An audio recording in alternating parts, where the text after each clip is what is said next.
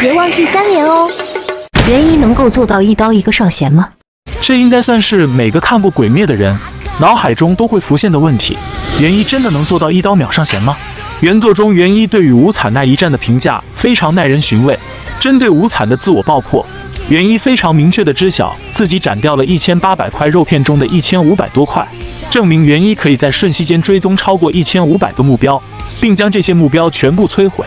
再来看上弦之三一窝座，大招青银乱残光一瞬百拳，对上元一被秒绝对不冤。至于上弦之二同魔血鬼术均为冰系技能，速度也不算太过出众。再对上火克冰的日呼，结局或许很凄惨。黑死谋更不必多说，他在风柱与炎柱的眼中是速度极快，甚至戏耍霞柱的存在。但在有防备的前提下，面对元一堪称放水的平坦，却连刀都拔不出来。可见一刀秒上弦并不是什么夸大战力，而是真的能够做到。